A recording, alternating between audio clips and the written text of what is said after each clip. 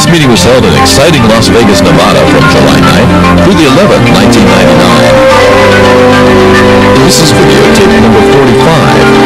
Follow up on Micropower Radio.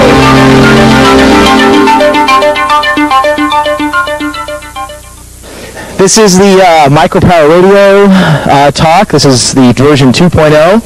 Uh, I'm going to kind of cover a little bit of some of the things I covered last year, plus some changes that have occurred legally. Put my Mets hat on to keep my hair out of my eyes. Um, as well as try to go over some technical details that uh, I kind of glossed over last year. Uh, first of all, introduce myself. Uh, I'm Professor Feedlebom. I am uh, the individual that uh, started the Desert Crossing radio broadcasts five years ago uh, with the Southern California Car Caravan. I also operated my own micropower radio station in the Los Angeles area called The Voice of Mercury for a number of months or years. Probably closer to eight years now. Um, I have since moved. I'm no longer in Southern California, so I'm not necessarily involved with the caravan anymore. Uh, I'm in a new town, causing new problems on new frequencies. Uh, basically, what I hope to cover is a little bit of some of the changes that have occurred in the last year regarding micropower radio. Um, I'm going to talk a little bit more about antenna construction. Um, I'm going to uh, discuss a little bit about building a pirate station, kind of recover some of the stuff that I covered last year. Uh, first of all, some changes. First of all, right now, currently before the Federal Communications Commission is a proposal to provide for legal micropower radio. Um, on January 28, the FCC has proposed to license new 1,000 watt and 100 watt low power FM stations and is also seeking comments to establish a third class for power levels from 1 to 10 watts. Um, the, of course, the National Association of Broadcasters isn't real happy about this. They would much rather have uh, one or two companies owning stations and markets rather than hundreds of companies, um, as is the case like in the town where I live, where there are 16 FM stations owned by three companies. Uh, this, of course, reduces the quantity of people that have a voice in the market, especially in urban areas like Los Angeles, um, where it is very difficult to get on the air. They have adopted a notice of proposed rulemaking, which basically means that the FCC is seriously considering this proposal, and they are accepting comments. Now, the original comment period expired uh, April 12th, but has been extended now twice. Uh, they are currently still taking comments until August 2nd. I'm actually looking at the proposal here on, the, on their website. And uh, there is a website you can go to if you would like to see the uh, LPFM proposal. And let me find that here in my notes as I'm paging up here. Um, and I don't appear to have the actual URL in here. But uh, I think if you go to fcc.gov, www.fcc.gov, and uh, look for the LPFM proposal, um, basically the low power FM proposal that's being sent that's being discussed right now is not perfect. Um, a lot of people in the micropower radio community would have much rather had some additional restrictions based on ownership and things like that. Um, but uh, this is better than nothing, and uh, should should prove at least interesting for the short term. Um, I just want to make a couple of things known. There's a couple of uh, there's a little bit of FUD going around on this. They're not issuing licenses yet, nor are they accepting applications. And the commission is seriously considering the fact that people that have been busted for operating micropower stations in the past will not be issued licenses um, because they are, quote, unfit broadcasters, unquote. Um, that's one of the more... Uh, questionable issues. Obviously, this is uh, some people think this is specifically so that Dunifer, uh, for those of you who don't know, Stephen Dunifer is like the godfather of uh, micropower radio. Uh, a lot of people think there's a conspiracy to keep him off the air, and that's why the FCC is doing that. Um, any rate, like I said, you, um, they're taking citizen comments on this. I strongly suggest that everybody who's even remotely interested in micropower radio go to the FCC's website, find this proposal, send in your comments not only through the web, but send them by mail. Like every other bureaucracy, they're going to take web comments and put them in the circular file, only counting them. However, mail comments are going to be obviously more considered than web comments and email comments. Um, that's the that's the current legal status of power, micropower radio. The FCC's been still shutting down stations for the last year. Uh, last year, when uh, I started talking, they had just finished uh, taking off about 10 stations. They're still taking them off the air. Uh, what this means long term, I don't know, but uh, the short of it is, is that uh, this kind of is the disclaimer. If you do this, uh, you do run the chances of getting caught, and uh, will want to, of course, protect yourself accordingly. Let's see. Getting to the thing. Oh, I might as well talk a little bit about the Dunifer Radio Berkeley um, decision. Um, I don't have all the notes here on this, so uh, if somebody knows a little bit more, feel free to stop me. But uh, basically, the uh, the Radio Berkeley, which was kind of the parent micro power station um, has been taken off the air pretty much for good. They continue broadcasting sometimes on wild frequencies in the Bay Area. Um, this, of course, has been hampered by the fact that Dunifer's physical health has deteriorated. Um, there are appeals pending, but uh, the general consensus is, is that with the low power FM proposal on the table, uh, the FCC now the FCC now has much more of a case because before in the case, Dunifer's defense was based on the fact that you cannot apply for a license. There isn't even a process to go through to be denied. They just will not accept them. With this micropower radio proposal, now the FCC's defense, now the FCC can say, well, yes, there is. There's this notice of proposed rulemaking, and we'll be taking license applications in six months. And why are you on the air? So that's kind of been why a lot of people think the LPFM proposal got as far as it did. Um, eh, it'll be interesting to see what happens in six months from now, uh, see where this proposal actually goes. It's curious that uh, uh, all this is going on now, um, right before the election. Go fig. I guess micropower radio isn't really an election priority. Uh, okay, kind of glanced over that. Let's uh, talk about actually putting a pirate radio station on the air. Um, the obvious things you need to put a pirate station on the air are obviously programming, which is your mixer and all that fancy stuff, which we have plenty of up here. Um, you need a transmitter of some sort, and you need an antenna to radiate your signal. Those are the three basic components. Um, obviously all the audio gear is very easy to obtain.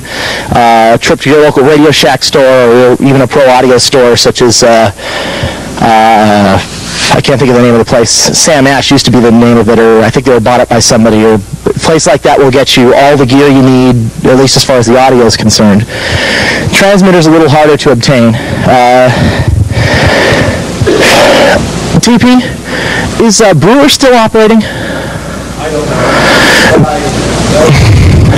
There used to be a gentleman in Florida by the name of LD Brewer, um, does www.ldbrewer.com, that used to sell um, kits. And for about $200 you could purchase a uh, Panaxis FM exciter and um, a Free Radio Berkeley like 60 watt kit to get to get yourself about 60 watts of uh, of power.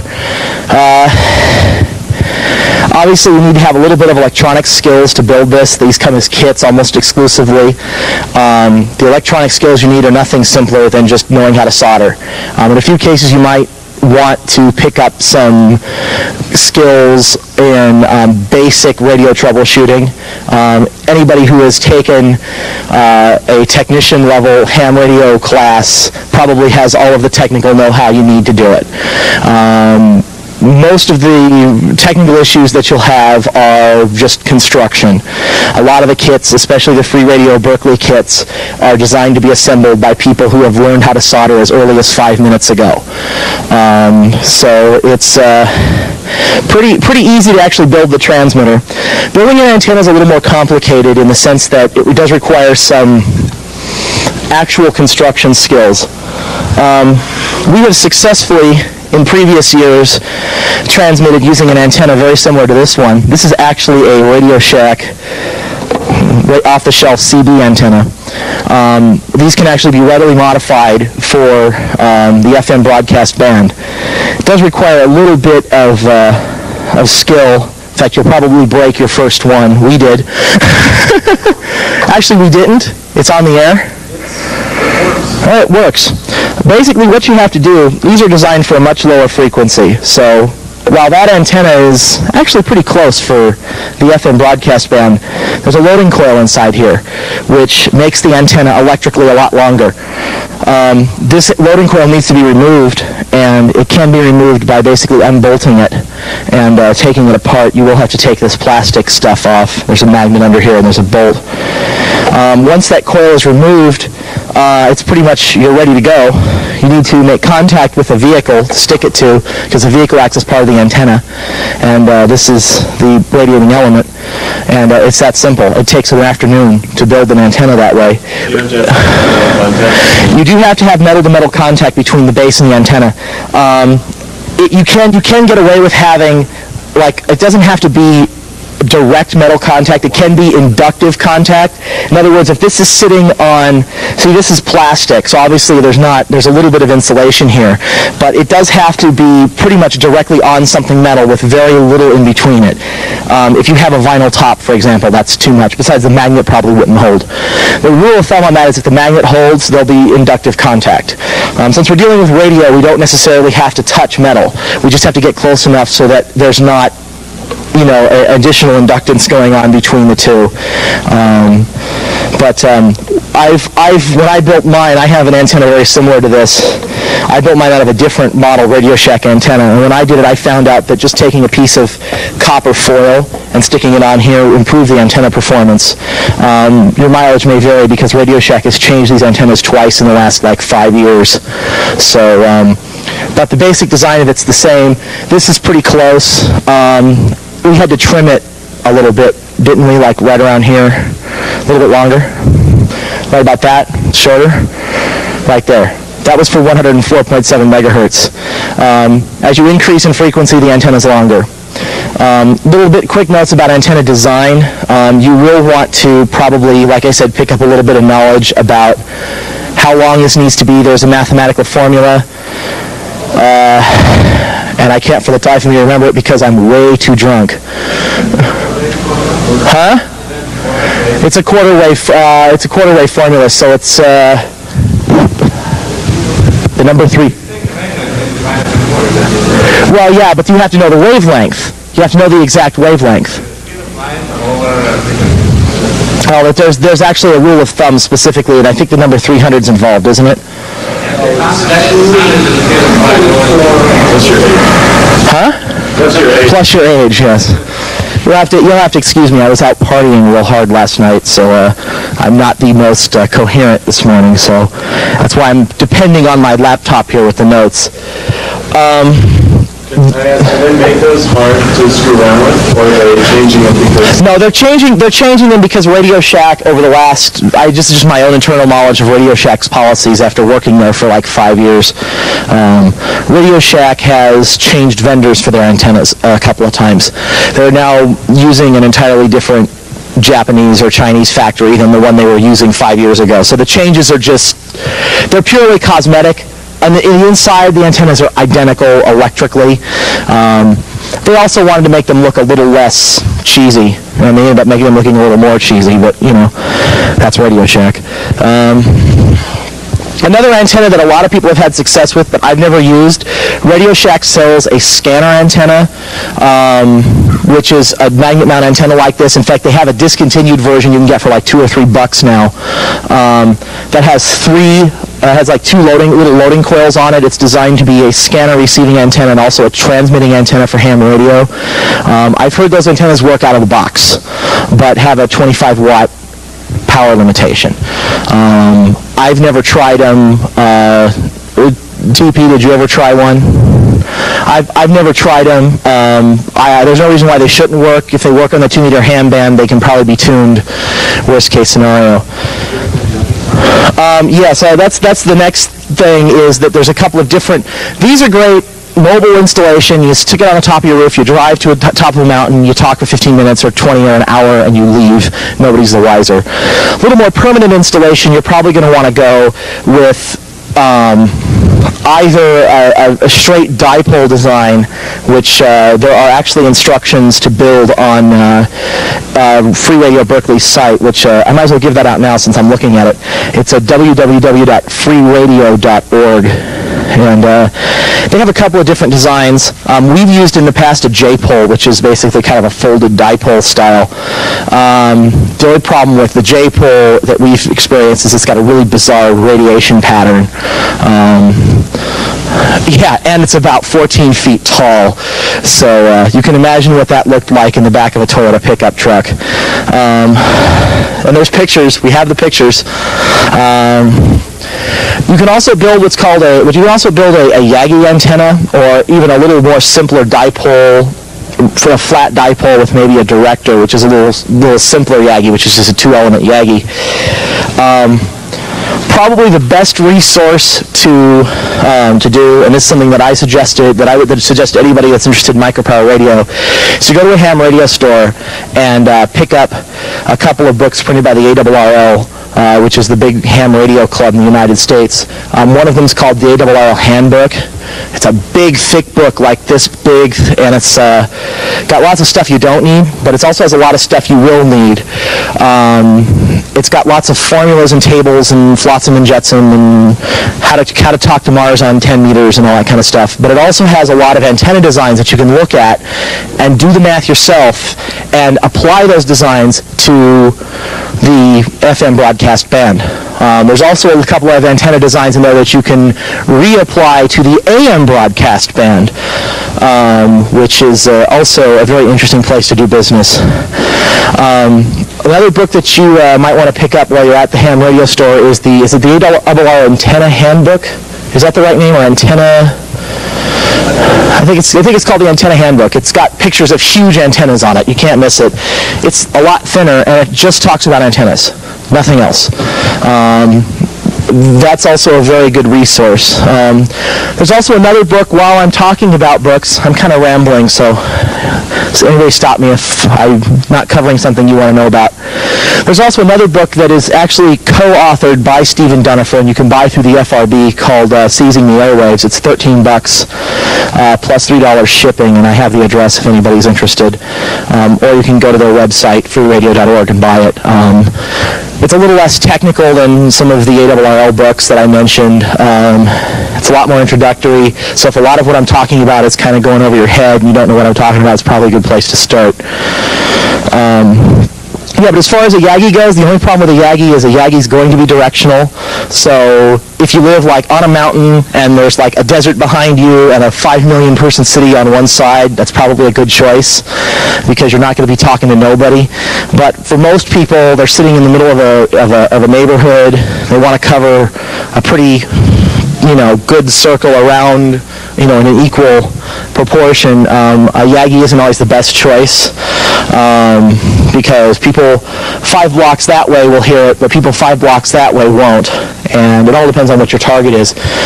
That's probably a good, just just general idea to try to figure out where people you want to you know you think you're going to want to hear are, and then try to put yourself in the middle.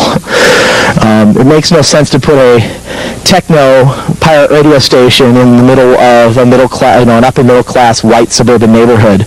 Um, similar, similarly, I, I don't think I'd want to put a easy listening station in the middle of uh, downtown Santa Ana or Los Angeles. It probably wouldn't get a lot of listeners. Um, let's see. Trying to see if there's anything else here. Um, as far as transmitter designs, um, we've used in past years, we've used the, the, like I said, the Panaxis exciter plus the FRB uh, amplifier. It's worked very well. The design is very simple. It's easy to build. Um, takes a couple of afternoons to put the whole thing together and get it tuned up. Um, and uh, let's see. I'm trying to think if I missed anything. Uh, I've done this so much now in the last five years. It's like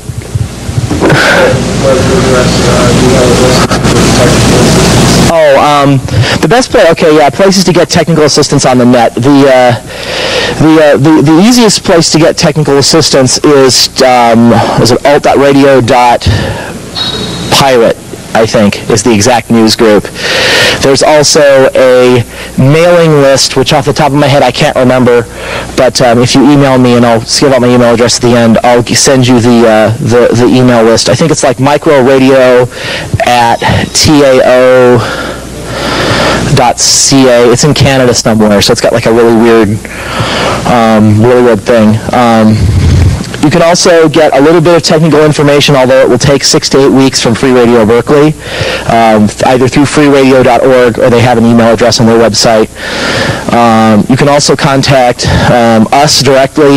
Um, I'll give you my email address. It's Feedle, that's F as in Frank, E-E, D as in David, L-E, at radioinvasion.com. That's all one word run together. And uh, did you want to give out your address? The other person that is, uh, uh, he's actually the one who's actually engineered everything. It's, uh, is it T-Pagan or is it Technopagan? Technopagan at mailcity.com.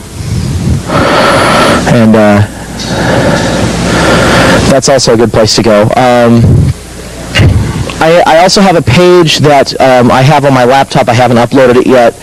Um, I'll go give you that web page. It's www.661.org slash the tilde character feedle and slash uh, micro radio. Or you can just, if you don't forget that far, if you just get to my website somewhere and navigate, it's probably under, going to be end up being under uh, projects, micro power radio. Um, I have also a document that I wrote up for last year's con- convention, which I can put up there, which is a lot more um, specific about a lot of the things I just kind of glossed over. Um, in fact, that's kind of what I'm reading right here. Um, and uh, also has a specific um, antenna design. It has in that document the, the J-pole design that we've used previously. Um, that's about all I have to say. Uh, unless anybody has any questions, I'll just uh, start there. Yeah. Uh, How do people get caught? I mean, That's a good-? Yeah, that's actually a very good thing to talk about is getting caught. Um, usually the easiest way people get caught is uh, their neighbors can't suddenly pick up channel 5 on their TV set and um, they get like 10 complaints in a five block area and it all seems to involve one channel that involves this really bizarre music that nobody's ever heard of before. Um, typically who will catch you is not necessarily the FCC. Who will typically catch you is um, an SWL, a shortwave listener, or a ham radio operator, who happens to be a friend or a relative of Joe Bob down the street that can't pick up Channel 5. Um, the easiest way to avoid getting caught is to not create interference. Um, this is a very this is a big issue for a number of reasons. One of them being that the FCC's big complaint about micropower stations is that they cause all this awful, horrible interference to, you know, they tell these doomsday scenarios of airplanes falling out of the sky and police not being able to pull up criminal records on people and things like that. Um, on freeradio.org, there's a couple of designs for interference filters that you can build to put on your transmitter so that your transmitter doesn't create spurious emissions and things like that. It's strongly suggested that you use it. You much, I personally and a lot of other people in the micropower radio movement would rather you have a weaker, weaker signal that doesn't interfere than a powerful one that you know, keep some plane from landing at John Wayne Airport um, because that'll get you taken down faster than anything.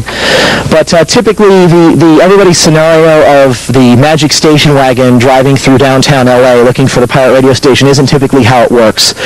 Typically, how it works is a ham radio operator will write up a complaint letter to the FCC stating power levels that he's observed on frequencies that he doesn't believe to be licensed. He'll send that into his, he'll either send it into the FCC office in Gettysburg or he'll just call his local FCC office uh, and uh, fax it over or deliver it to them some other way.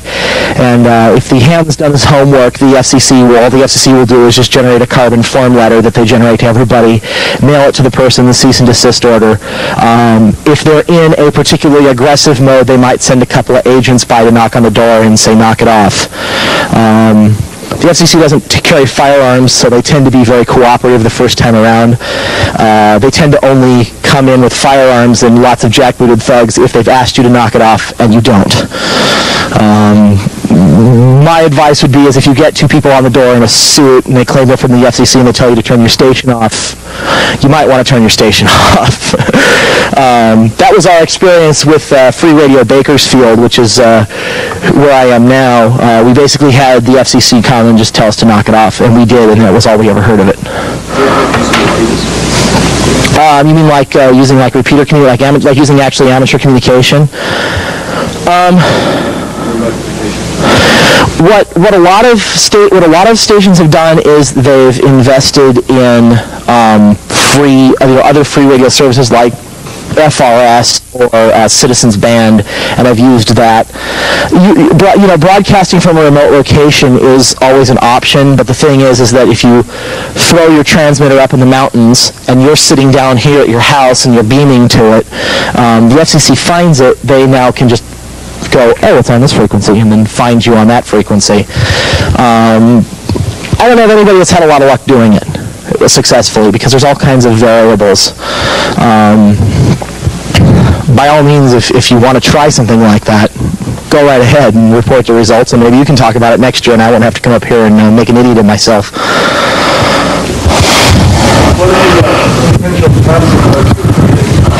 The primary consequence of getting caught is that uh, they'll come take your stuff away. Um, there's also a fine involved, typically uh, a number with three or four zeros after it uh, per day. Uh, they tend to not use that because, uh, as for micropower stations, because they've had in previous years some political nightmares with doing that. For you know, there, was an incident involving a, a a couple of high school kids at a high school back east that, that got the whole community in an uproar. Um, they will do that if they feel that there's an egregious violation going on. Um, like if the content is particularly obscene or is um, been ongoing for quite a long time or they feel there's other issues involved like for instance you are indeed interfering with with legitimate communication especially public safety they get really upset with public safety and aircraft um, so typically, yeah, there, there are serious consequences for, especially if they knock on your door or send you a letter and you continue. Um, I've heard of 8,000 to 10,000 a day fines being hand out, handed out for micropower violations, which is silly considering that most of these stations are less than 5 watts. Can't be received for more than 5 miles. But that's the political scene. Anything else? Yeah. Have you ever gotten safe harbor hours? Yes, they they uh, specifically um, a station in um, Miami that was taken off the air in the last round of busts back in back in summer last year. Uh, the station was particularly targeted specifically for obscenity, and and in fact th- what. How they ended up taking the guy down was not the FCC. It was the local sheriff's department enforcing obscenity law. So, yeah, yeah, this is in Dade County. Weird things happen in Dade County. What can I say? Yeah. Okay. Yeah, there are. Yeah, there's a there's a series of uh, kits, the FM10, FM25, and FM100 kits from a company by the name of Ramsey Electronics out of uh, Victor, New York, I believe, or Ramsey, New York. They're in New York State.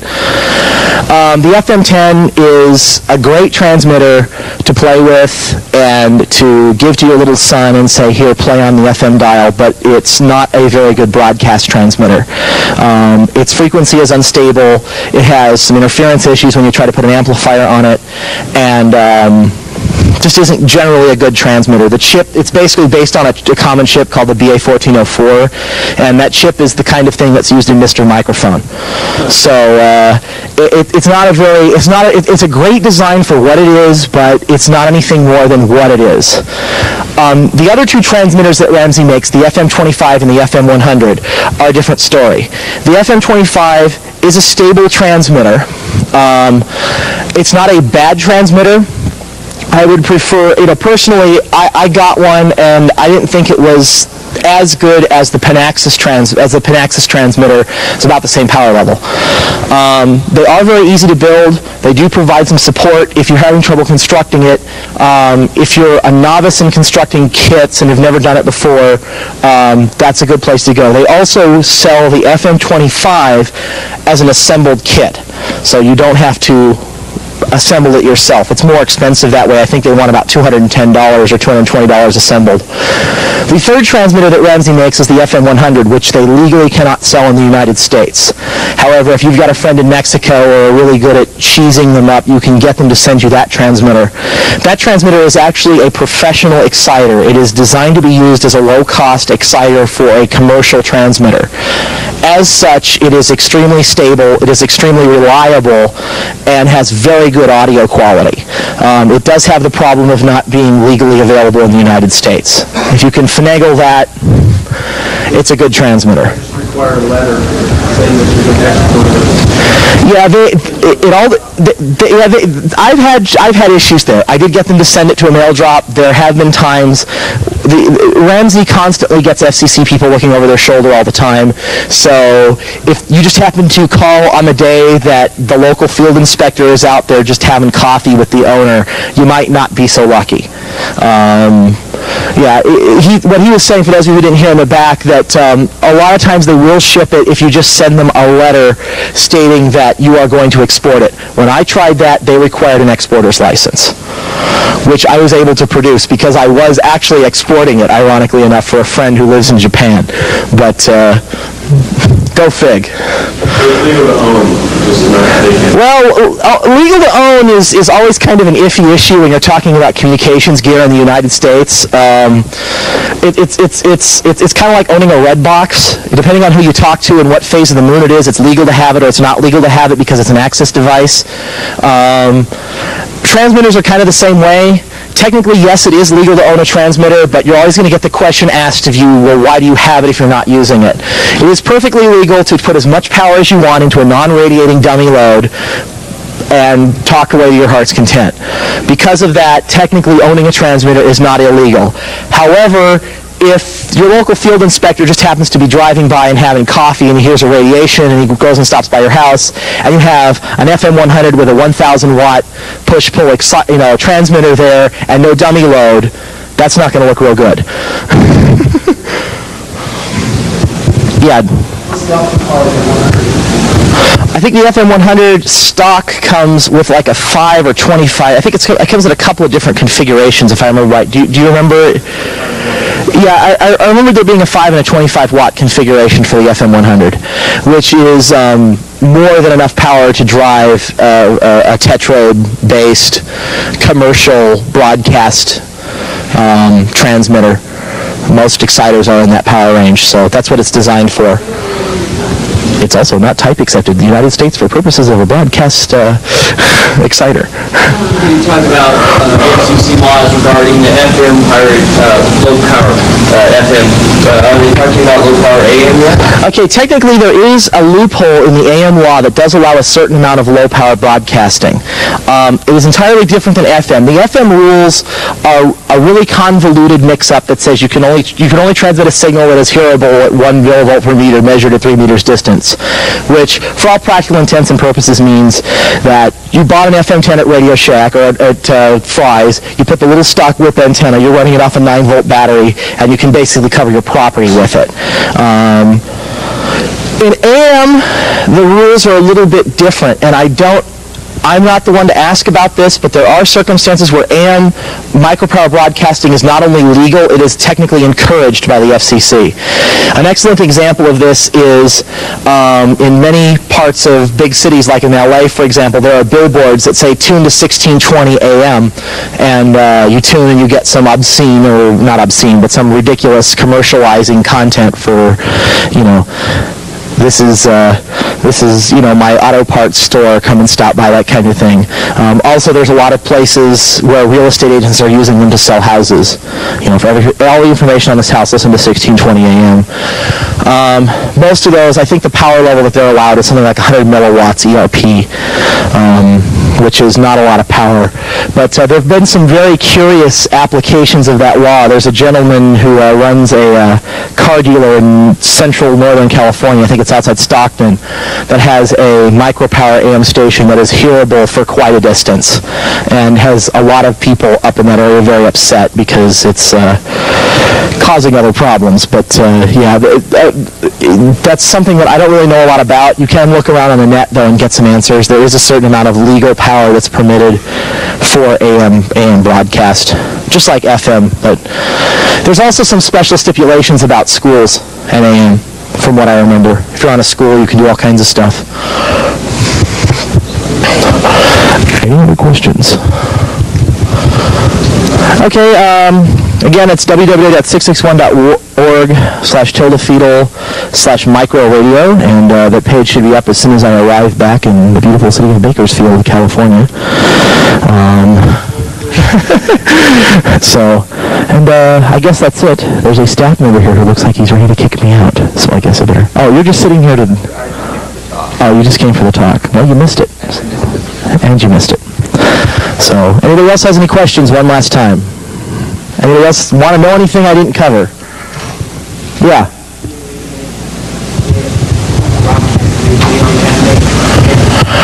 Um, well, you can broadcast legally on the FM band if you follow the millivolt per meter rule, which is effectively no power, or have $500,000 you can post as a bond to the Federal Communications Commission to apply for a Class C commercial broadcast license.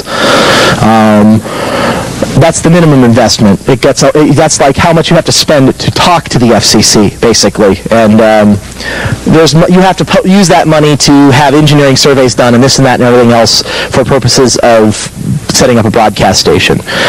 Um, like I said in the beginning of the talk, I talked about there, there is an attempt to try to get a proposal through the commission right now called the LPFM docket, which is currently a uh, notice of proposed rulemaking, which is kind of like the FCC version of a bill in Congress, if you will, um, that will permit micropower broadcasting under 1,000 watts. Um, and that's wandering its way through the FCC. If you want to comment on it, which I suggest you do, you go to the FCC's website, look for it, and you have to get your comments in before August 2nd.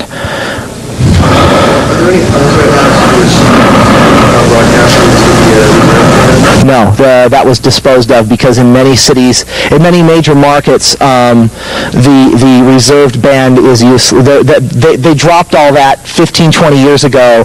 Um, there are commercial stations down there. There are educational stations that have wound up, you know, higher up in the band because of trading with commercial stations and all kinds of other stuff. So uh, my understanding is that's been dropped from the proposal.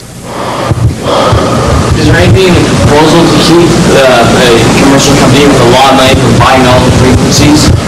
Um, there is a stipulation in the proposal, and I haven't looked at the proposal. There, there's, there's, the proposal has changed a lot um, over the last six months. Um, originally, it was one thing, and it's kind of changed into something else. Um, the FCC's intent with this proposal is to not create is to, is to create non-commercial stations. So the FCC is being very specific in their wording to prohibit or restrict ownership from large commercial interests. Um, the problem with this is that the FCC has traditionally been very friendly towards educational establishments, so a lot of people are worried that what may end up happening is that they're, like with the previous low-power FM in the 70s, the only thing that will end up happening is schools will end up snapping up all the licenses and broadcasting commercial formats on a, you know, on, on, a, on a non-commercial station. A case in point is in Long Beach, there's a jazz station that is run by the University of California, and nobody can compete with it because it's commercial free, because it's a, it's a non it's a, it's a educational license. So that's, that's a concern. I suggest you read the, you get the proposal and read it, because there have been some changes. Um, it's on FCC's website in like a 50 gazillion different formats. I think it's, they've got it in like Word Perfect and uh, uh, a text file. They got an Acrobat file. They even have like Excel spreadsheet attachments for a lot of the a lot of the stuff. The FCC's gotten surprisingly wired over the years. Um, so uh, that, that that would probably be the best if you're interested in that proposal. Um, like I said, there's actually two different classes of stations. There's currently a 1,000 watt and a 100 watt license, and I think a lot of the licensing is going to be obviously if you want the 1,000 watt license, they're going to be a lot more anal than if you just want the 100 watt license. So at least that would be the hope. Any last questions? Okay, well, that's it. I don't know who's next. Um, thanks, and I'm sorry. I'm sorry for being totally.